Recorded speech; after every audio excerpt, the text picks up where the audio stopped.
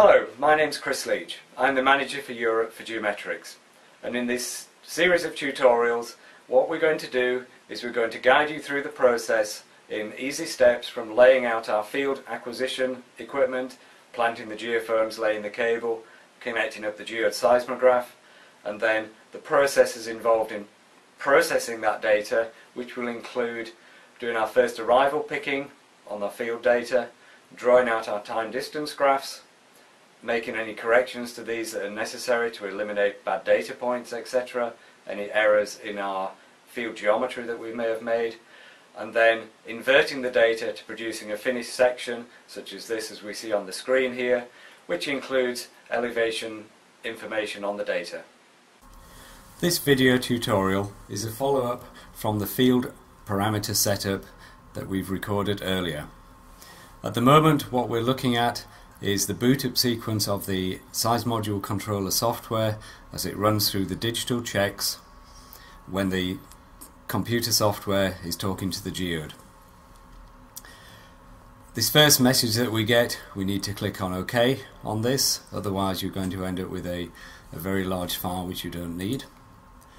And we now come to the initial screen which we're showing here at the top the shot window and this is where we'll see the seismic data that we acquire the noise monitor window and if I place my fingers on the input terminals of the geode we can see noise variably appearing on some of the channels of the seismograph which shows us that the instrument is basically working okay and we're seeing data appearing albeit temporarily.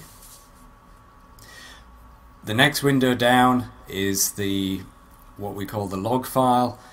The geode creates a file of everything that you do during the day for its own internal purposes, but also for you for a, a, useful quality control function at the end of the day. So you can tell what you did and when, what parameters you used to record the data, where the shots were recorded, etc. etc.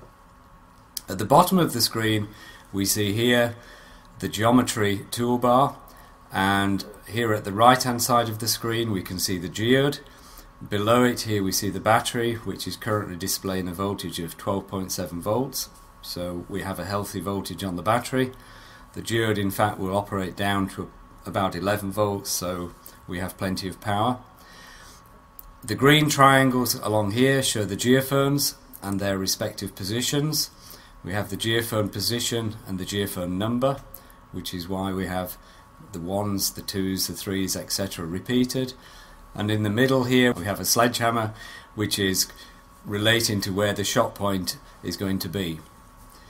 We'll now run through the setup parameters which you have to use to set up the geode software to record a basic seismic refraction spread. The first thing we need to do is go to the geometry window and check that our geophone positions are in the correct place. So we come here to geophone interval and we can select what our geophone interval is. At the moment it's 3 meters. If we're using feet as our units we can change this to feet if we wish. Click on OK. It's just telling me a message there that I haven't actually changed anything.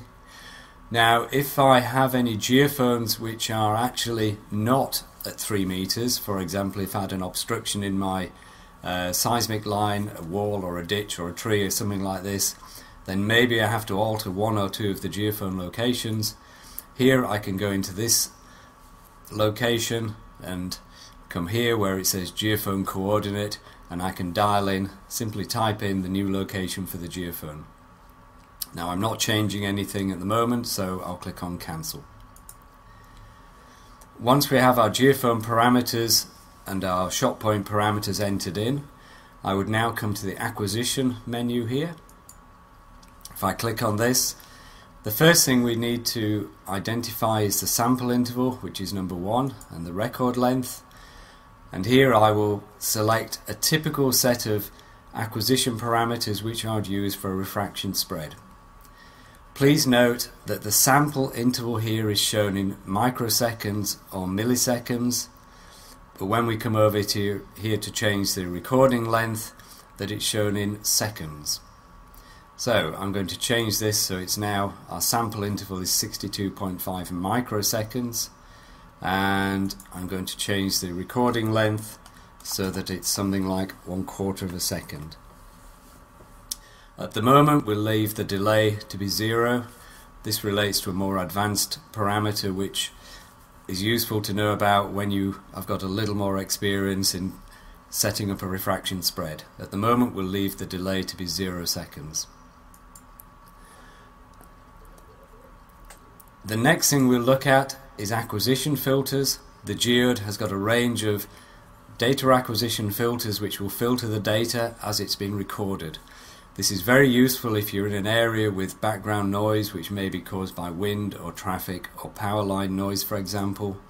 So if it's traffic, traffic typically is a low frequency signal so I would select maybe a low cut filter of 10 or 15 hertz and then also if I'm near power lines, I will select a notch filter which will just take out the power line frequency.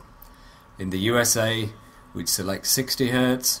Elsewhere in the world, maybe a notch filter of 50 Hz is applicable. So I've selected a low cut filter and a notch filter which will take out the low frequency noise typically from traffic and the notch filter which is going to take out power line frequencies of 60 Hz in this instance. We're now ready to take our first shot. But at the moment,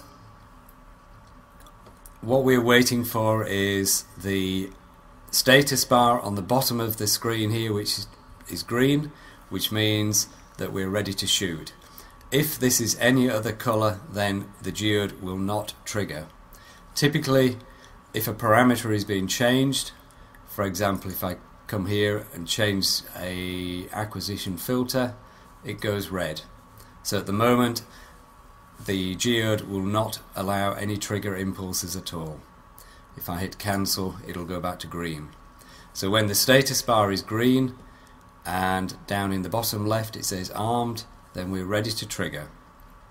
Now, what I'm going to do is, we, as we're not in the field, I'm going to play back a file from memory.